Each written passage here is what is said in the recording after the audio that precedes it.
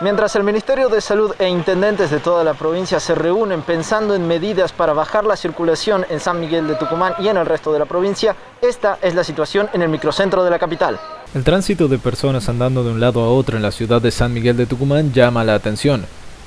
Si bien muchas de estas personas llevan puesta su máscara de forma correcta, varias personas llevan la suya sin cubrir su nariz o por debajo del mentón. Otra situación llamativa en el microcentro es la que se da en las filas afuera de bancos, farmacias y comercios, que se extienden por las veredas y pueden llegar a ocupar la cuadra completa. En estas colas no se respeta la distancia mínima recomendada de metro y medio. Varios de estos locales han dejado marcas en las veredas y en el piso para indicar esta distancia, pero suelen ser ignoradas a medida que las filas crecen.